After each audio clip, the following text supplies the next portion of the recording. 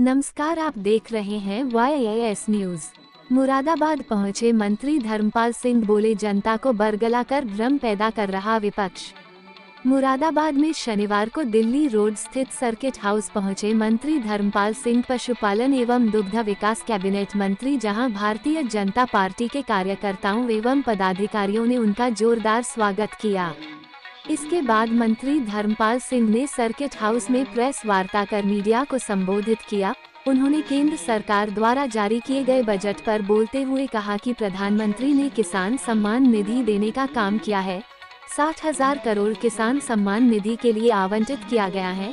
इसके अलावा कैंसर की दवाएँ सस्ती कर दी गई है और मनरेगा की धनराशि बढ़ा दी गई है। वहीं मंत्री धर्मपाल सिंह ने विपक्ष पर हमला बोलते हुए कहा कि विपक्ष का काम है जनता से जुड़े हुए मुद्दे उठाना, लेकिन वह बहिष्कार करने का काम कर रहे हैं। विपक्ष जनता को बरगला कर भ्रम पैदा कर रहा है। इसके अलावा विपक्ष द्वारा अग्निवीर योजना का विरोध करने को लेकर मंत्री धर्मपाल सिंह ने कहा कि विपक्ष अग्निवीर योजना को बार बार गलत ठहरा रहा है और अफवाह फैला रहा है।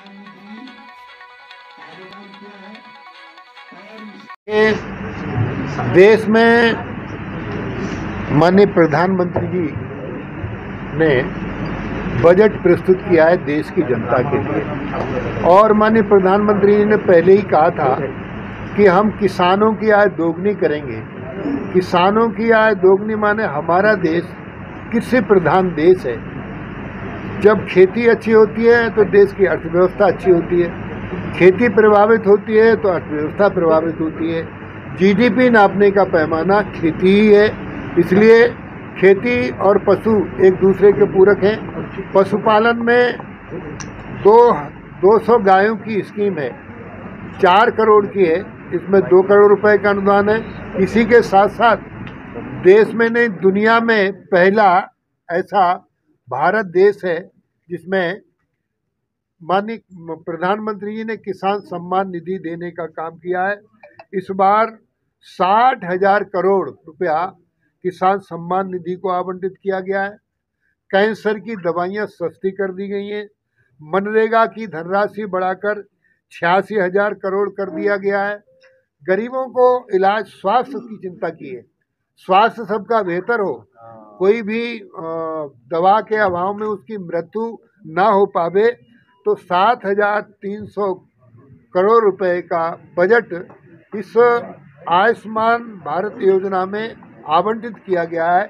इसलिए माननीय प्रधानमंत्री जी ने, भारत सरकार ने जो बजट देश की जनता के लिए प्रस्तुत किया है, वो किसानों के लिए, गरीबों, मजदूरों, उद्यमी, व्यापारी, कर्मचारी सबके लिए लाभदायक है। एक समावेशी बजट है जिसकी प्रशंसा पूरे देश में हो रही है।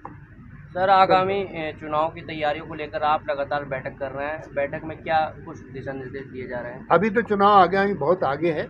सत्ताईस में होगा अभी कोई चुनाव नहीं। सर उपचुनाव की उपचुनाव के बारे में जब चुनाव होगा तब बात करेंगे। सर नीति आयोग की बैठक का विपक्ष ने बहिष्कार किया। देखिए विपक्ष पे कुछ है नहीं। विपक्ष का काम है जनता से जुड़े मुद्दे उठाना। विपक्ष जनता से जुड़े मुद्दे तो उठा ही नहीं रहा। वो बहिष्कार करने का काम कर रहा है। आप सीधा संदेश है कि विपक्ष जनता से नहीं जुड़ा है। राजनीति में भ्रम पैदा करके वो जनता को बरगला करके भ्रम पैदा कर रहे हैं। अपना उल्लू सीधा करने का काम विपक्ष कर रहा है। सर विपक्ष लगातार अग्निवीर योजना का विरोध कर रहा है। प्रधानमंत्री नरेंद्र मोदी ने कहा अग्निवीर को लेकर गलत हवा फैलाई जा रही है। निश्चित रूप से माननीय प्रधानमंत्री जी ने कहा कल कारगिल युद्ध के बारे में देश ने श्रद्धांजलि देने का काम किया है। और वास्तव में मैं आज आपको बताना चाहता हूँ देश में जो इंडी गठबंधन ने जो भ्रम पैदा किया दस साल कोई भी आतंकवादी की हिम्मत नहीं हुई थी आ, हमला करने की। कश्मीर में जो हमले हो रहे हैं वो इंडी गठबंधन के कारण से एक बहुत बड़ी स्थिति आतंकवादियों का जो मनोबल बढ़ा है तो वो ये इसका यही कारण है कि आज अंतर्राष्ट्रीय ताकतें वो नहीं चाहती थी कि माननीय प्रधानमंत्री नरेंद्र मोदी जी प्रधानमंत्री बने जिनका प्रयोग विपक्ष ने करने का काम किया है। आज हम स्थिति में आज हमारे देश का गौरव बढ़ा है वो माननीय प्रधानमंत्री मोदी जी के कारण बढ़ा है। मंत्री जी का, कावड़ यात्रा चल रही है। सोशल मीडिया पर एक नेरेटिव सेट किया जा रहा है कि कावड़िए उपद्रवी है। जगह जगह सोशल मीडिया पर वायरल है। उपद्रवी कावड़ियों को बताने की कोशिश की जा रही है। बहुत बड़ा एक संगठन लगा हुआ है। किस तरह देखते हैं इस? कावड़ यात्रा को लेकर